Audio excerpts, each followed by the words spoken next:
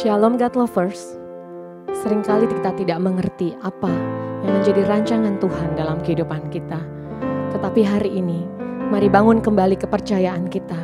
Percaya bahwa dia Allah yang merancangkan kebaikan bagi setiap kita.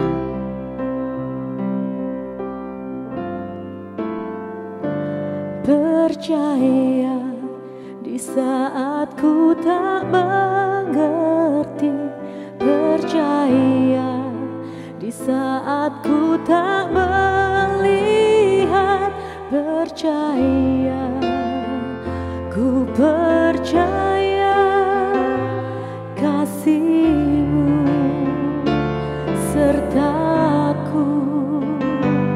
Percaya berkatmu ada bagiku.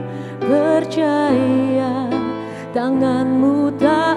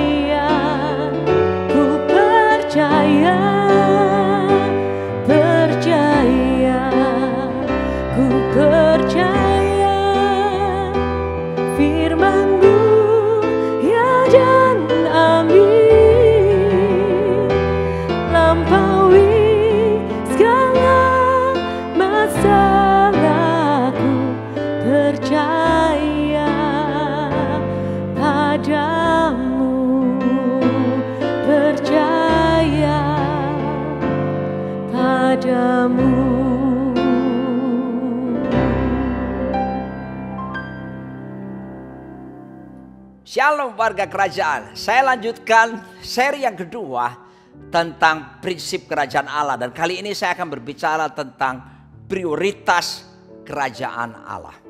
Hidup harus ada prioritas. Kita nggak bisa berkata, oh kami mengalir saja pak.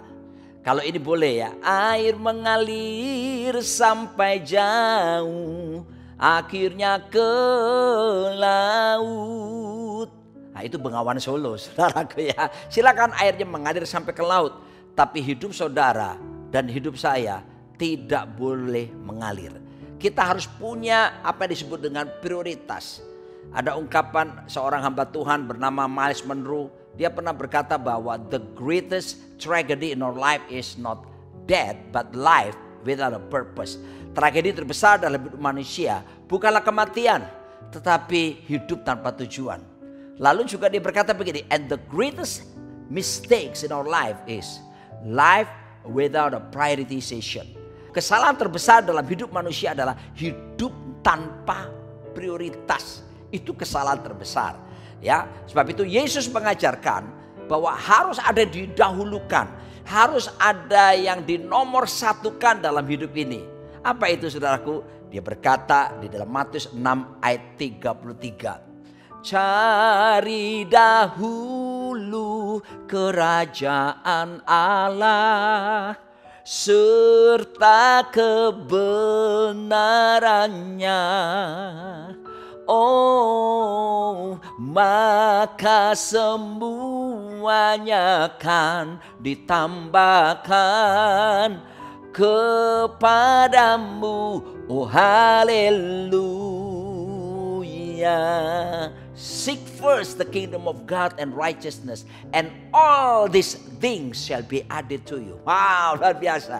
Cari dahulu, not only our priority but must be our top priority. Jadi prioritas puncak itu, apa itu? Kerajaan Allah harus jadi prioritas puncak dalam hidup setiap kita. Nah, saya mau katakan kerajaan Allah adalah pengaruh langsung pemerintahan Kristus di dalam kita, di antara kita, dan bersama kita. Biar dia jadi raja bukan cuma di urusan rohani, tapi di seluruh aspek kehidupan kita, termasuk aspek mata kita, aspek pikiran, aspek perasaan, aspek kehendak kita, mengizinkan Kristus sebagai raja. Oleh sebab itu, ini harus dikedepankan dalam segala sesuatu. Karena Tuhan berjanji, kalau kamu cari dahulu kerajaan Allah dan kebenarannya, maka ada bonusnya. Semuanya akan ditambahkan kepadamu. Itu bicara berkat-berkat. Berkat apa itu? yaitu makanan, minuman, pakaian. Tuhan berkata jangan khawatir soal apa yang kamu makan, jangan khawatir soal apa yang kamu minum, jangan khawatir soal apa yang kamu pakai. Semua dicari bangsa-bangsa yang tidak mengenal aku. Kalau kita masih khawatir soal makanan, pakaian, dan soal uh, minuman, maka sesungguhnya kita sama dengan para penyembah berhala. Tetapi untuk bisa mengalami pemeliharaan yang sempurna daripada Tuhan, Tuhan berkata, cari dahulu kerajaan Allah utamakan, prioritaskan dia pemerintahannya nyata. Sehingga saudaraku dikasih Tuhan, soal berkat itu bukan sesuatu yang utama. Kita bukan hidup mengejar berkat. Seharusnya ketika kerajaan Allah diprioritaskan, berkat bonus itu akan menyertai. Sebab kerajaan Allah itu sebabnya dan akibatnya itu adalah berkat-berkat itu. Dan jangan terbalik, jangan mencari akibat, tapi mulailah dengan mengedepankan kerajaan Allah dan itu harus menguasai seluruh aspek hidup kita. Ketika kita bertobat terima Yesus, di situlah kita mulai masuk entering hidup, memasuki gaya hidup kerajaan Allah. Dan roh kita sudah diselamatkan. Buat roh kita tidak ada masalah. Tapi jangan lupa, ada pikiran, ada perasaan, ada kehendak. Itu jiwa kita. Nah ini yang harus diperbaharui. Rasul Paulus mengajarkan bahwa aku menawan setiap pikiran dan menaklukkannya di bawah Kristus. 2 Korintus 10 ayat kelima. Bahwa pikiran ini jangan biarkan ke mana-mana. Maka taklukkan tawan kita dengan apa? Pikiran yang sesuai dengan firman Tuhan. Filipi 4 ayat ke-8 semua yang benar, semua yang mulia, semua yang manis, semua yang suci, semua yang adil, semua yang sedap didengar, semua yang patut dipuji, yang semua sebut kebajikan, Pikir kalah semuanya itu. Nah, mulai kuasai pikiran kita dengan pikiran-pikiran yang benar, yang suci, yang mulia, yang adil saudaraku. Jauhkan dari pikiran-pikiran najis, jauhkan dari pikiran. Stop dalam nama Yesus. Dan itu bisa dihentikan ketika Anda mulai mengisi perbendaraan pikiran kita dengan firman Tuhan setiap hari. Merenungkannya siang dan malam Alkitab katakan repetition is powerful. Pengulangan terus dibaca, direnungkan, dibaca, direnungkan di Alkitab akan merubah changing our mind. The way of our thinking akan berubah sehingga pikiran kita tunduk kepada pikiran Kristus dan itu artinya pemerintahan Tuhan nyata dalam hidup kita termasuk perasaan Filipi yang kedua ayat kelima hendaklah dalam hidupmu bersama kamu menaruh pikiran dan perasaan seperti yang terdapat juga di dalam Kristus Yesus. Wow, perasaan kita pun harus diselaraskan dengan perasaan Kristus. Salah satu contoh perasaan Kristus apa? Penuh dengan compassion, belas kasihan. Ketika lihat orang yang menderita, orang yang lapar, orang yang sakit, Alkitab selalu mengatakan tergeraklah hati Yesus oleh belas kasihan. Dan itu yang harus ada pada setiap kita. Mari kita berlatih memiliki perasaan Kristus. Belas kasihan lebih tinggi daripada simpati. Belas kasihan lebih tinggi daripada empati saudaraku ya. Padahal empati itu seperti kita sudah menaruh, uh, memakai sepatu orang lain yang sedang menderita. Kita mencoba mengerti perasaan orang lain. Tapi compassion, belas kasihan itu bukan cuma kita menaruh kasih kepada seseorang tetapi harus ada tindakan untuk bisa menolong orang itu. Dan perasaan seperti ini ya perasaan yang ada pada Kristus harus ada pada kita. Mengampuni orang yang bersalah kepada kita lepas daripada dendam harus ada pada kita. Pun demikian kehendak kita. Yohanes pasal 4 bagaimana Yesus berkata Makananku ialah melakukan kehendak Bapa dan menyelesaikan pekerjaannya. Kehendak kita harus tunduk dan diselaraskan dengan kehendak Kristus. Baca Alkitab, ikuti, latih saudaraku. Karena kalau Anda berlatih, maka akan jadi kebiasaan. Dari kebiasaan akan menjadi budaya. Ketika pikiran, perasaan, kehendak kita diselaraskan dengan pikiran, kehendak dan uh, perasaan Kristus lewat firman Tuhan, maka saya percaya pemerintahan Tuhan nyata dalam hidup kita. Orang melihat kita, orang melihat Yesus Raja. Orang melihat kita, orang melihat kerajaan Allah nyata dalam hidup setiap kita. Dan dengan demikian kita mengedepankan pemerintahan kerajaan Allah serta hidup benar. Jangan khawatir, semuanya akan ditambahkan. Hidupmu akan diberkati, bahkan akan menjadi berkat bagi banyak orang. Amin. Bapak Surgawi, terima kasih kau mengajar kami mempunyai prioritas dan bukan sekedar mengalir. Kami mau terus hidup dalam pemerintahan kerajaanmu.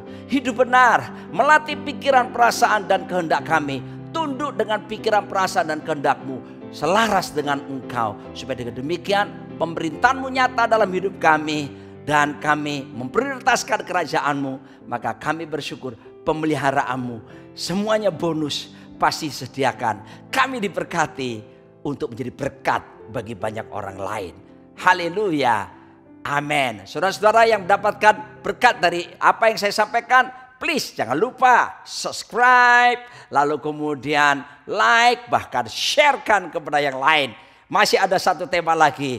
Kita akan jumpa tema yang berikutnya yaitu unsur-unsur kerajaan Allah yang nyata dalam hidup setiap kita. Amin.